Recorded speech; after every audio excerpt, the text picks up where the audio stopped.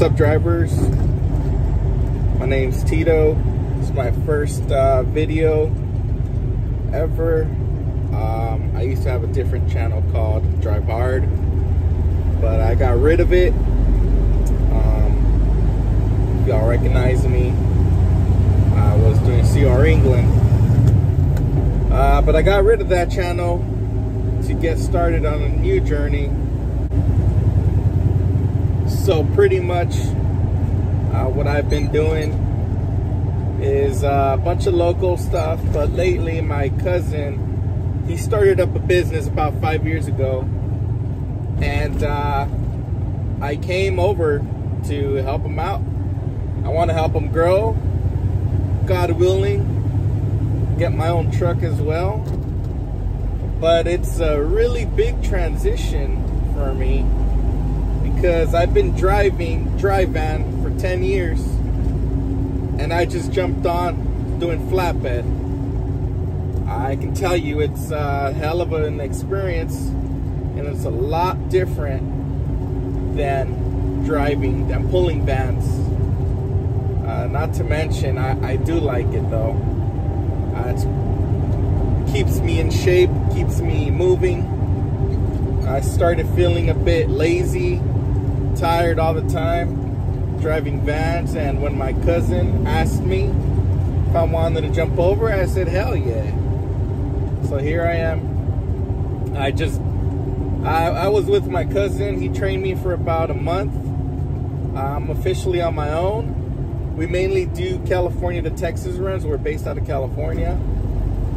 Famoso Lanes that's the name I, I'm doing I just dropped off I picked up in uh, Long Beach and I delivered just now by Dallas, Texas. Uh, it's Friday. Thank God they they found me a load yesterday, or else I'd be here all weekend. And I'm on my way right now to go pick up that load. I wish I could have shown y'all. I'll post a picture right now.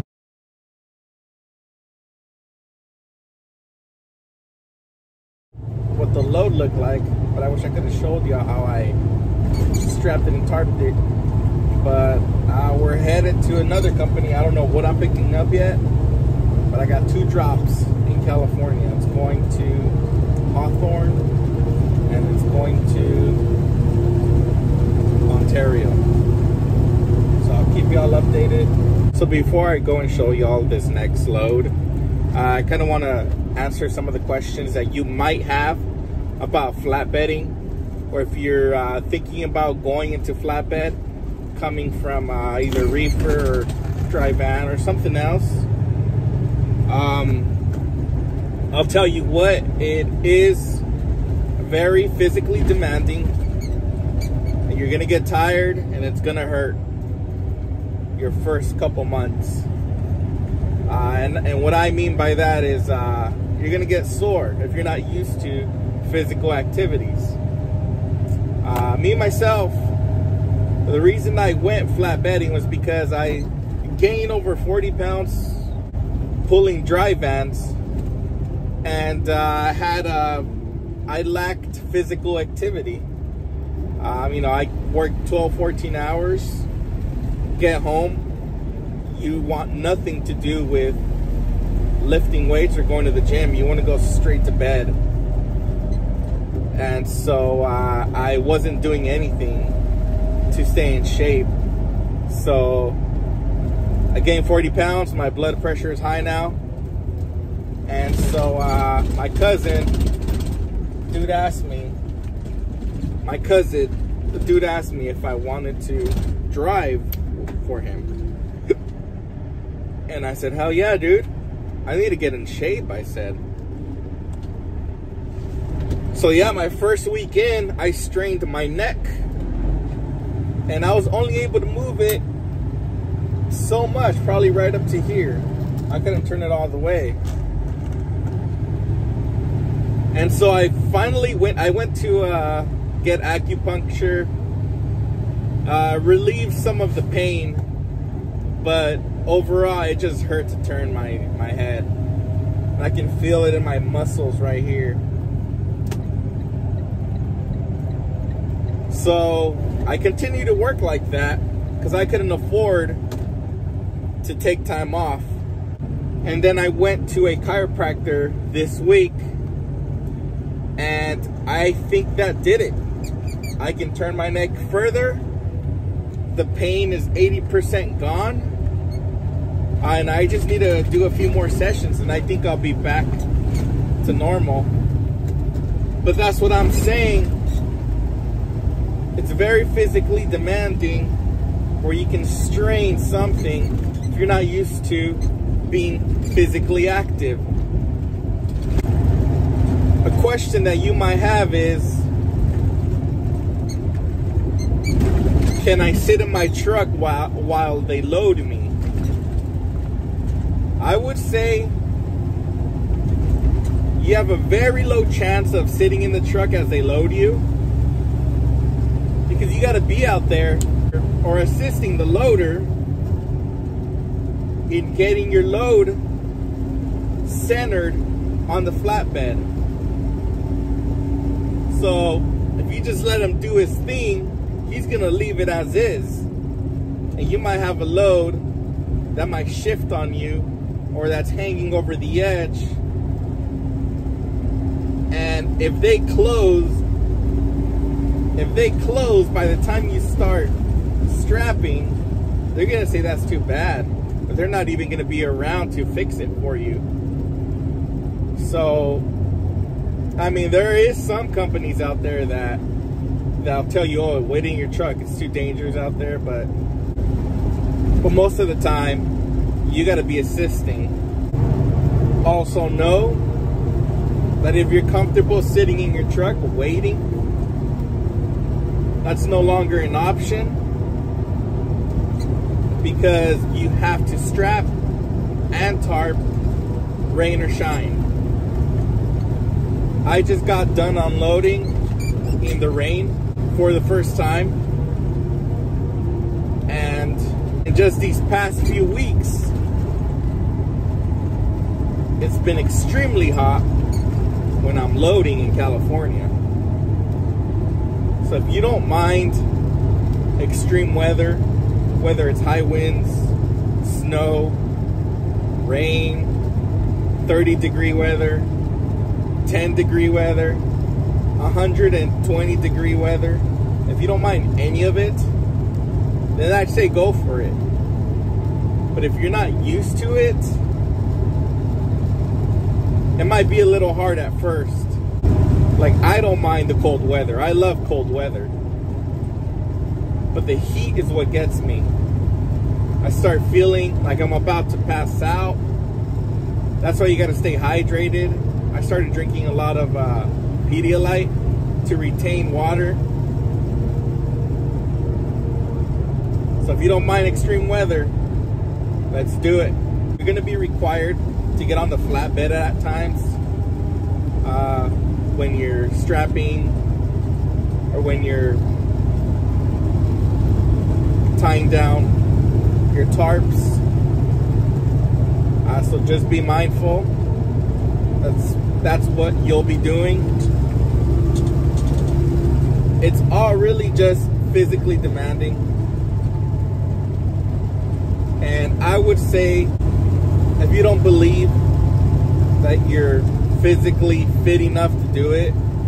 I mean, really, there's only one way to try it out. That's just applying at a company that's willing to train you. Uh, they will, like, uh, for example, systems transportation. I know they take on people with no experience in the flatbed division.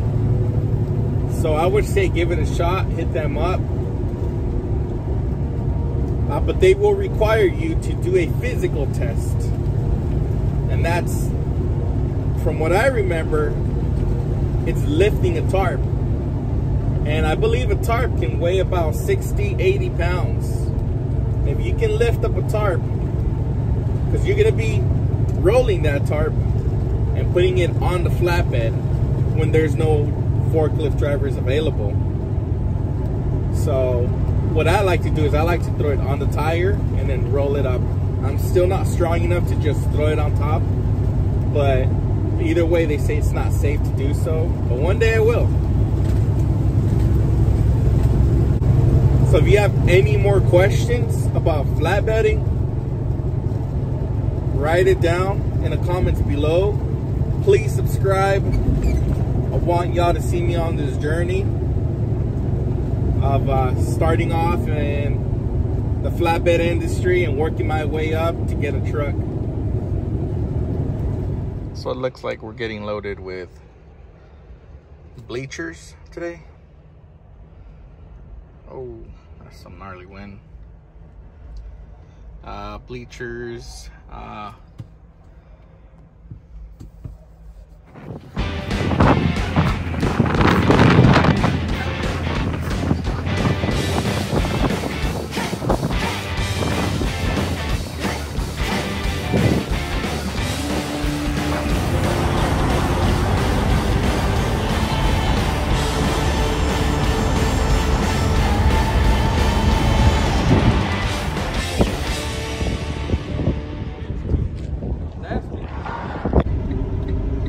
I got the shit beat out of me. Just finished unloading, or I just finished loading. And that's exactly what I'm talking about when I'm saying, when I said, you gotta be okay with working in all types of weather conditions. And I had to tarp just now in the fucking wind. I am fucking stressed. I'm pissed off it was fucking hard because I put it twice. I put it twice on top and the wind just fucking blew it. I just arrived in Santa Ana. I took down the tarp. As you can see, it's laid out on the floor. About to roll it up, unload, and then we got one more stop after this. It just sucks because this whole trailer is mixed all the materials for the bleachers, it's all mixed. It's gonna take some time, but we're gonna have to figure it out.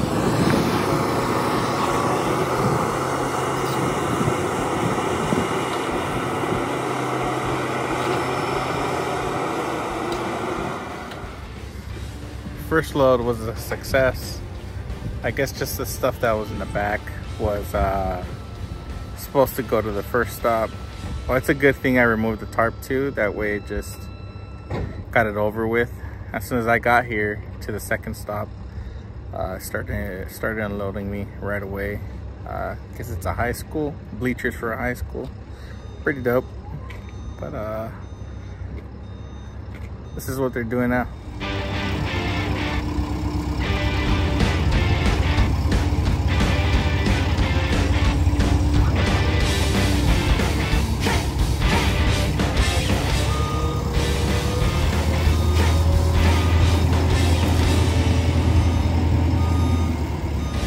Small piece by small piece.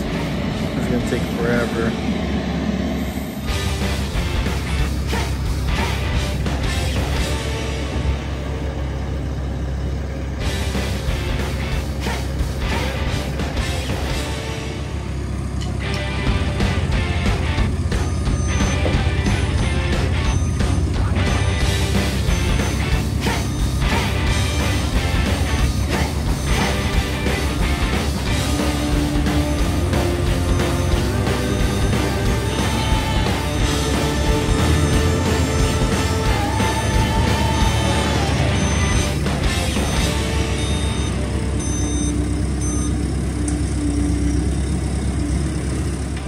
Load to pick up in Compton right now, right after this one.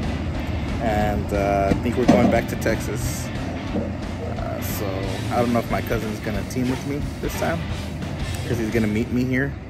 He said he's driving to the school, so uh, I don't know. Let's see what he says. That's the last of it. That's that. Completely unloaded. Waiting for my cousin. Gonna head out to Compton. And I think that's the end of this video. Uh, I'll put my next one up. I'll start recording that one. And uh, thanks guys for watching. Uh, uh please subscribe. uh, and like this video. And uh, I guess, do they still have that little bell for notifications? I'll let you guys know whenever I upload new videos. All right, thanks y'all. See you on the next one.